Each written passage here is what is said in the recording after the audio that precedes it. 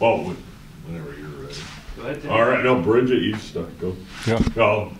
Great weekend facing an inaugural uh, season team, uh, both here and on the road. Yeah. What did you think of the team's performance and how that's going to help them spur you for the, the next series coming up? Well, first off, I thought Augustana was was really good. They're in their first year of their program, and you can't tell that by the way they play. Um, we knew going into it that uh, it's an experienced team. They're they're new together, but they have some experienced players on their roster, and and uh, you know, a really good weekend for us to come away with two wins. And and again, I think you know, with the with the level of competition there, kept us in the mindset that we have to be good, and uh, in order to come away with good results there. So all in all, a really positive weekend for the group, and and two big wins to keep rolling here uh, into conf- back into conference play. So, Coach, talk about tough decisions with healthy, healthy players. I mean, um, um, like a, for example, Mike Michael Abgrall was outstanding Friday night, but then Charlie Lurie gets in there. It's great, great to see him get a chance. There's a, lot of depth, and Dom Vidoli back there is a defenseman. The, there, there's a lot of depth. Uh, how tough are the decisions uh, to come up with a, a lineup sometimes with so a lot of guys that could really contribute?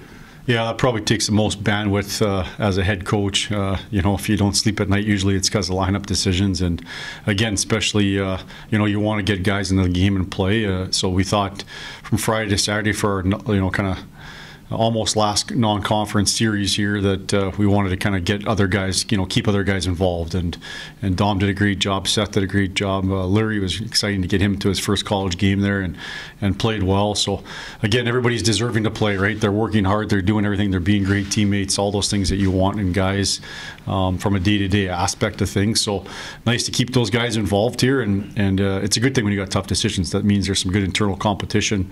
Um, you know, you cooperate and compete at the highest level. Um, you know that's what you want out of your program, and that pushes the guys that are playing to, to be good and to make sure they stay good, and also uh, you know uh, get get pushed up from underneath as well. So tough decisions, but uh, but it's a good thing when your program has a lot of elite players in it. Uh, outside of the holiday tournament in Tempe, it's NCHC play the rest of the way. Is that kind of nice to know, you know, have the familiar opponents the rest of the way out? Yeah, it's good and bad. You know, anytime you know uh, it's all NCHC, usually that means tough competitions on the horizon, and and no different this weekend. We've got a Minnesota Luth team that. Uh, watching on video is a very good team. I think uh, their only losses this year are against North Dakota, St. Cloud, Minnesota, um, and so you just know how Cornell, you know, you know how good they are, right? They had some some early wins uh, in the season there, and then they just had a gauntlet of a schedule, and that's what this conference can do to you. Is uh, you know you can still be a really good team and, and not have a record to show for it, and they're they're a prime example of that. So um, they'll be dialed and ready to go like they always are, and we'll have to be ready from uh, the drop of the puck here on Friday night. Obviously, scoring the first goal gives you a better shot at winning the game, but the team is 7 and 0 when scoring the first goal this year. Is, Hmm. What do you attribute to that this year? Yeah, again, I don't know. I didn't know that stat, so that's great. And uh, yeah, you know, again, just starting on time. I think it's our focus level, right? We always challenge our players to be ready to go and do what you need to do to be ready to go, and, and that involves some personal responsibility, right? If you need to skate, if you need to, you know, do certain things before the game to make sure you're ready to go at seven o'clock or six o'clock or five o'clock or wherever that game's about to start. Uh, we really encourage our guys to learn to take responsibility for themselves to to do that, right? And we we got to prepare them during the week and making sure they're ready to go with the, the strategy, the videos, the, the habits, all those good things that we need to do as a coach is to prepare them. And then ultimately, when the game time comes, it's uh, it's about them uh, being ready to go. So our, our group's done a tremendous job of that. I think it starts with our leadership group and um, them starting the you know leading by example in that category, and and we got to make sure we continue that. Like you said, UMD's only lost to some high caliber teams this year. What what have you seen out of them on, on film?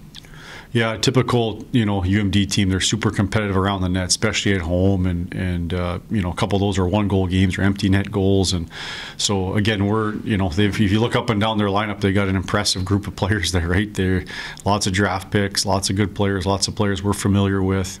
Um, so again, it's just uh, again, it's about us. We got to make sure we're prepared and and we play to, to our standard there. Um, but definitely, I know just the preparation this week, not somebody we're, we're taking lightly. And again, to me, they they they're not. Uh, uh, the, their record is not indicative of who they are as a team, and it's just, uh, I think, more indicative of the conference and the schedule they've played so far. Had some success on the power play this last weekend. Uh, Duluth obviously has a top-ranked power play themselves. Mhm. How do you think special teams are going to work into this weekend's matchup? Yeah, very important. I think every every weekend they're important. It's something we're continuing to get better at with our penalty kill and power play. And we had another good day to, today. And yeah, like you said, I think that fourth goal on Saturday in particular really helps put the game away. And, and that's ultimately what you need special teams at times to to help you get back in the game, to put away a game a game away, to maybe give you that momentum you need. And uh, great to see uh, special teams doing that for us right now.